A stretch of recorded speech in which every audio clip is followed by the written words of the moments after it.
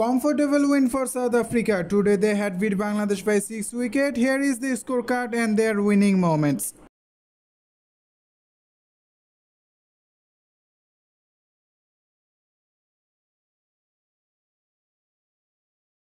Bangladesh has played 4 matches, lost all of them. South Africa also has played 4 matches, lost just only one, gaining 0.6.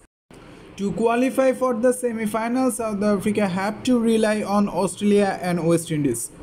Thanks for watching. Please subscribe for next update. Stay happy, stay cool, stay with us. Thanks to all.